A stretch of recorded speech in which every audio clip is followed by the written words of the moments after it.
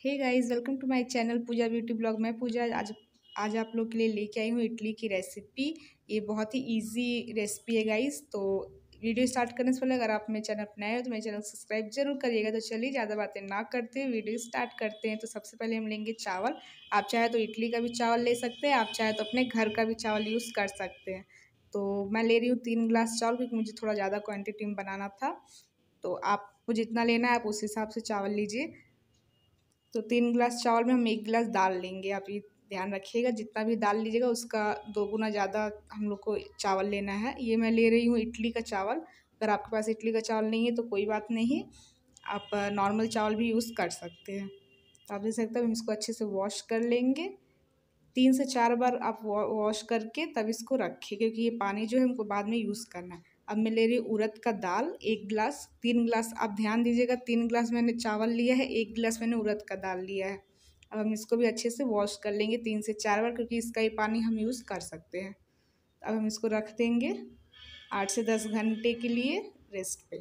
तो अब हम ले रहे हैं दो दो चम्मच मेथी मेथी के दाने। दो बड़े चम्मच, मेरा छोटा चम्मच था, इसके लिए मैंने थोड़ा सा और लिया तो दो बड़े चम्मच, इसको भी हम धो के उसी के साथ रख देंगे।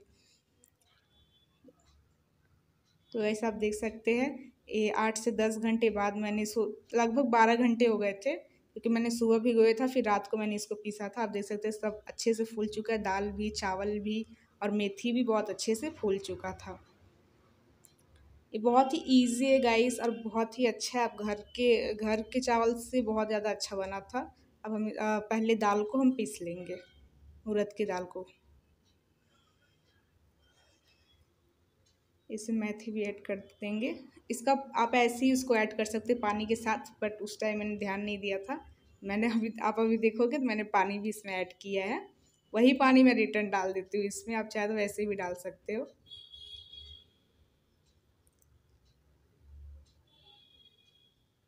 थोड़ा सा आप ये पानी भी यूज़ करें। आप पहले हैंड को अच्छे से वॉश करने के बाद ही आप ऐसे हाथ लगाए। मैंने बहुत अच्छे से वॉश किया था, उसके बाद ही। आप देख सकते हैं, एकदम अच्छे से पीसना है, एकदम महीन, क्योंकि थोड़ा सा भी इसमें वो नहीं होना चाहिए, थोड़ा सा भी मोटा नहीं होना चाहिए, क्योंकि चावल को मैं थोड़ा मोटा पीसना है, बट दाल को एकदम महीन। ऐसे सारे दाल को मैं पीस लूँगी। आप चाहे तो चम्मच या किसी भी चीज़ का यूज़ कर सकते बट इंडियन हम लोग के घर में ज़्यादातर ऐसे ही यूज़ होता है, क्योंकि हम लोग को उतना कंफर्टेबल नहीं होता। तो आप देख सकते हैं चावल को भी हम अच्छे से पीस लेंगे। और फिर उसी पानी को मैंने उसमें डाला था। आप देख सकते हैं, एकदम अच्छे से पीसेंगे। थोड़ा थोड़ा इसमें एक एक थोड़ा थोड़ा तो दाना होता है, वो वैसा होना चाहिए। एकदम महीन नहीं पीसना है। सारे चावल को पीस लेंगे, उसके बाद इसको अच्छी तरीके से मिलाएँगे।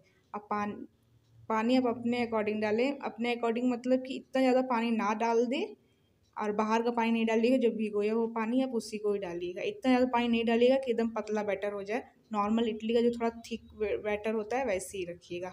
थिन बैटर मत करिएगा, थिक बैटर रहना चाहिए। तो उसको फूलने के लिए थोड़ा टाइम लगता है, जगह थोड़ा चाहिए होता है, इसलिए मैंने इसको दो जगह डिवाइड कर दिया अब हम इसको रख देंगे रात भर तो ओवर नाइट ट्वेल्व आवर्स के लिए रख देंगे। अब टेन आवर्स के लिए भी रख सकते हैं बट जितना टाइम तक हम रखेंगे, उतना ज़्यादा हमारा इडली अच्छे से फूल के बनेगा।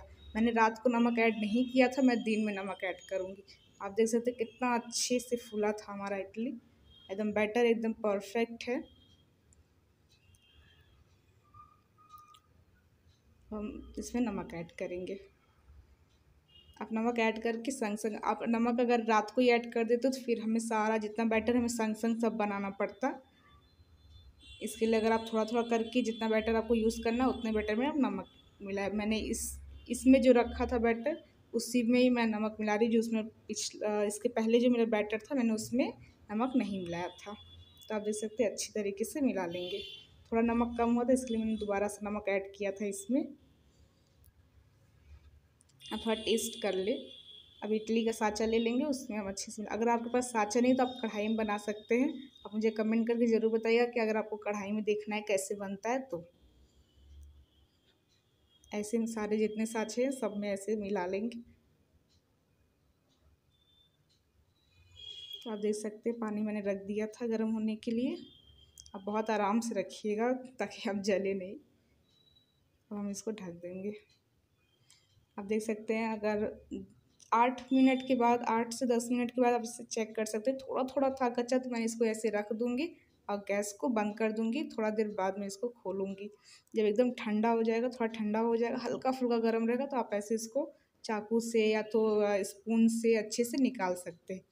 आप देख सकते हैं, एकदम बहुत ही ज़्यादा फ्लफ़ी बना था गाइस आप एकदम आराम से निकाल लें, क्योंकि गर्म रहता है तो। आप देख सकते हैं हमारा इडली बन के रेडी हो गया है।